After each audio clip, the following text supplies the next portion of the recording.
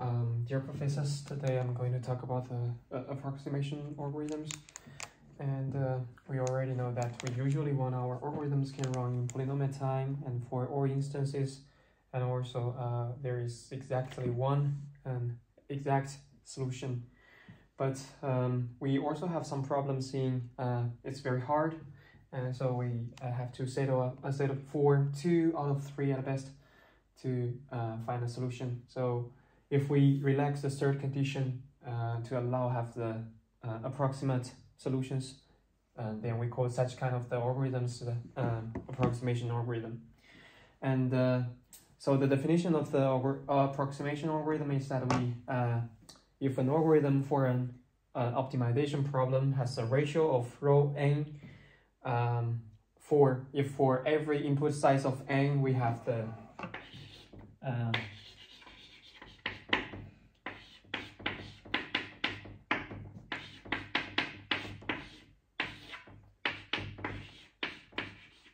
this is a definition of the approximation algorithm. And uh, um, we can see there is a C here. C is actually the cost of the uh, our produced solution. And uh, C star is the uh, cost of the optimal uh, solution. And when we are in the minimization problem, optimization problem, uh, we only we also we, we we always take the left term because we would like to minimize the cost as many as possible. So C, but it cannot reach the level of the C star. So uh, it must be greater or equal than one. And uh, obviously, if we have the uh, maximization problem, we will take the right one and uh, this will be greater than 1 and so that means our my rho of n uh, at least to be 1 and what is the actual meaning of the rho of n this describes um, how much uh, how long our uh, solution produced the solution will be. Yeah. And uh, today I'm going to use two representative uh, algorithms for each of the uh, optimization problem. And I will use the vertex cover for the minimization problem and uh, the three SAT for the maximization problem. And uh, let's start by talking about the vertex cover algorithm. The vertex cover uh, is actually we need to find a minimum set uh, that can cover the uh, whole graph. We we need to have at least the one endpoint in the edge of, in the edges of the graph. So um, we already know it's an NP hard problem. So we have uh, approx uh, uh, approx uh, vertex cover. And uh, what is it? Uh, it's actually very simple for this algorithm. Um, it initializes an empty set C and uh, we choose uh, the edges randomly from the graph G, and uh, we uh, we add two endpoints of the selected graph into C and remove all the uh, edges that are incident to the two endpoints. Uh, let me and then we return C. And let me just give an example here. Yeah. And uh, our C could be if we just uh, selected the three and uh, we C, D, and then we remove this one and then remove this one, remove all of this, and we still have uh, B and E. Yeah. So this is a kind of the uh, solution of our cost. So uh, we also have the case that uh, we have this is a kind of a worst case and uh, uh, if this this uh, C could be uh, C star could be A, B, C and uh, but if we run the approximation approximate vertex cover it would be A it would be contains all the edges here so we have our theorem um, approx um, approximation of vertex cover is actually a two approximation approximate algorithm. How do we prove that? Uh, we let C star to be a vertex cover, and because it's a uh, it's a vertex cover, it hits all the edges, and, and we also let A in C uh, in in E. So um, because C star is a vertex cover, so it hits all the edges in in in the graph. So uh, there is at least one point endpoint in UV in A must be in C star. So what? Uh, so we have the uh, equation here.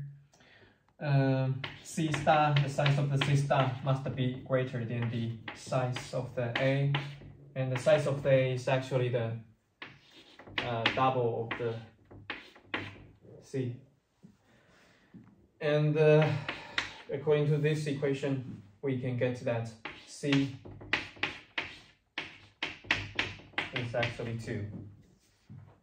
So uh, we got that approximation vertex cover is actually a 2 approximation approximate algorithm. And then we uh, start talking about the three SAT uh, problem. Three SAT problem is actually, um,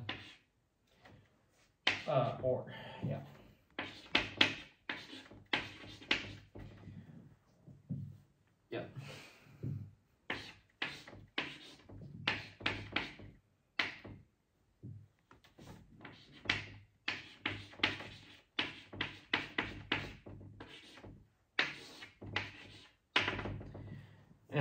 Three SATs problem is actually uh, we uh, requires us to find the uh, assignment, a valid assignment that can make the phi equals to one.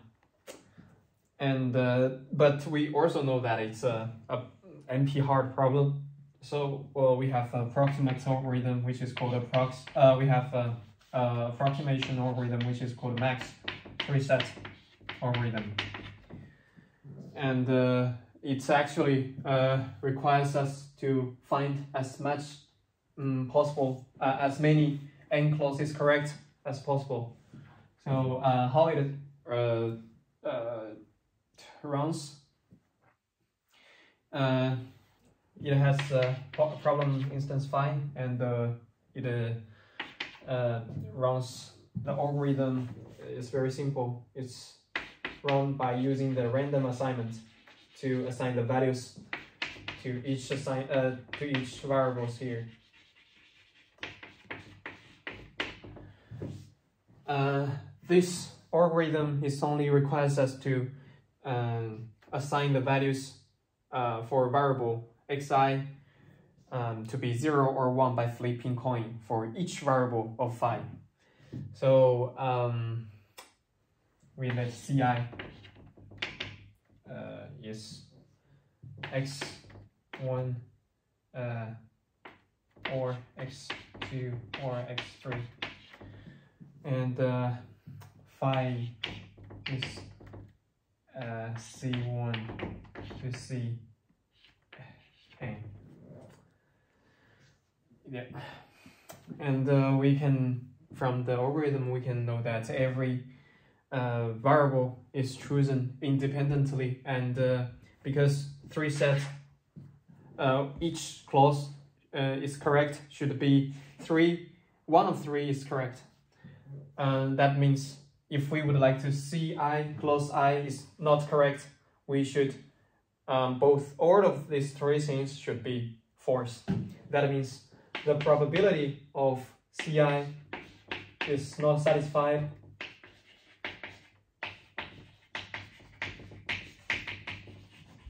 should be uh, probability of uh, x1 uh, equals 0. Both of them are not correct. So, uh, and we already know this is um, two, uh, 1 over uh, 1 over 2. The probability equals to 1 over 2. So the clause i is not correct. the probability of that is 1 over x that means the clause i is correct, the probability is 1 uh, 7 over 8. Yeah. And uh, um, we also want to, uh, we define x to be the number of the uh, number of the satisfied clauses. So it will be i equals 1 to n and uh, we have uh, c i uh, use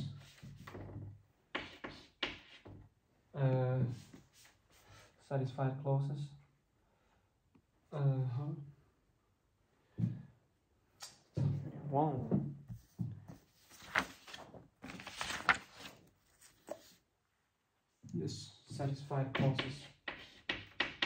It's an indicator variable. And uh, mm, because we're using the uh, expect uh, random a randomized algorithm, so we cares more about the expectation value. So um, this algorithm, uh, this uh, could be we, we, we pay more attention to about the expected of the x. So um, this will be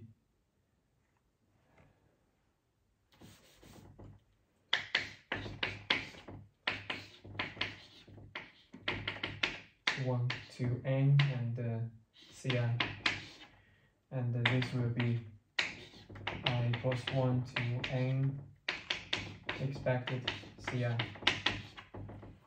so ci is uh, uh, is a satisfied clause.